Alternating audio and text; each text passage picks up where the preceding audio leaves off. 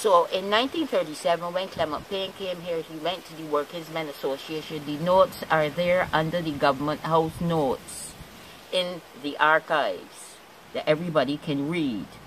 The Workers' Men Association said, you do not know Barbados. We are different to Trinidad.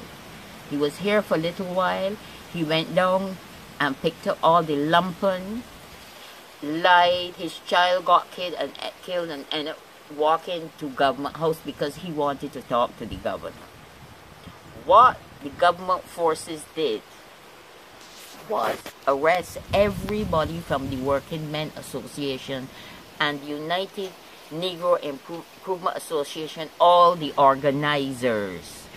Why don't we know that the Workers' Men Association and United Negro Improvement Association had 4,000 members in 1927? If you read the notes, and they're contained in the Truth Volume 3 because I, I just verbatim um, report from all the government house notes. These were not even the notes from um, the Workers' Men Association, their own minutes of their meetings.